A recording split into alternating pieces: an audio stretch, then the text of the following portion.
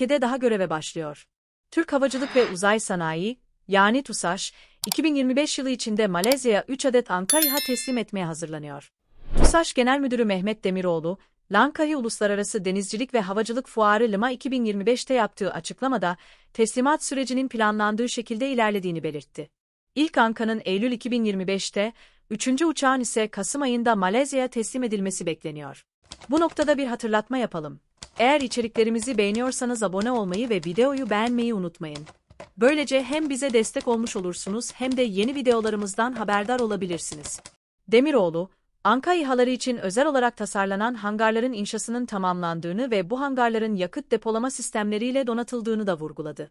Bu gelişme, projenin önemli bir kilometre taşı olarak değerlendiriliyor.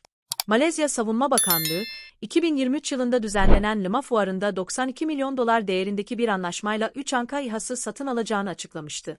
Orta irtifa uzun dayanıklılık, Male, sınıfındaki Anka, 1700 kilogramlık maksimum kalkış ağırlığı ve tam 30 saatlik uçuş süresiyle dikkat çekiyor.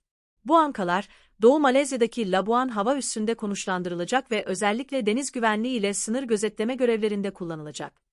Güney Çin Denizi gibi stratejik bölgelerde devriye faaliyetlerine katılarak Malezya'nın bölgesel güvenlik politikalarına doğrudan katkı sağlayacak.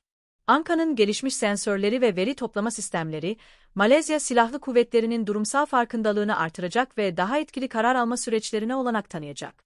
Bu da hem istihbarat hem de operasyonel başarı anlamında ülkenin elini güçlendirecek. Bu videoyu beğendiyseniz abone olmayı, beğenmeyi ve zil butonunu açmayı unutmayın. Böylece yeni videolardan anında haberdar olabilirsiniz. Yeni videolarda görüşmek üzere.